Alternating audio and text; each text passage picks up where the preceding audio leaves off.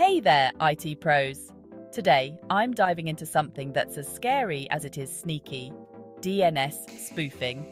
Ever wondered how attackers can hijack your internet traffic? Let's break down the dirty details. First up, imagine this attackers target caching DNS servers, injecting false DNS information into the cache. When you request a domain, you get back a forged IP address instead.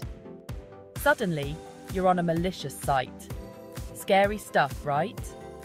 Next, we have the Here, the attacker sets up a fake DNS server. It responds to your DNS queries with bogus info. They monitor traffic, intercepting DNS requests, and reply with a spoofed response before the legit server even gets a chance.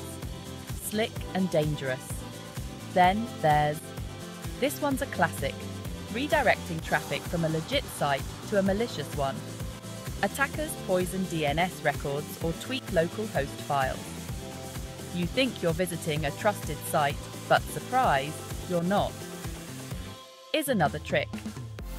Attackers alter the local hosts file on your machine. Now, your system uses the wrong IP address to resolve domains. It's a localized attack but still harmful. Moving on to attackers tamper with DHCP settings or use scripts to change your DNS server address. Your client queries a malicious DNS server instead of the legitimate one. Ouch! Is all about timing. Attackers eavesdrop on DNS queries and send fake responses. The catch? Their response needs the correct query ID once they nail that, you're in trouble. Lastly, not strictly a DNS attack, but close enough. Attackers reroute web traffic to a malicious proxy server by altering DNS resolution for the proxy's domain. They control and modify your traffic. It's a surveillance nightmare. Each of these methods aims to redirect you to illegitimate sites or servers. Once there, attackers can engage in phishing, distribute malware, or intercept data. It's a cyber battlefield out there.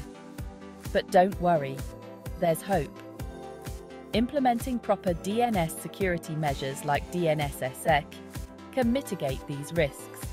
Stay sharp, stay secure. That's it for today. Keep your DNS settings tight and catch you in the next video.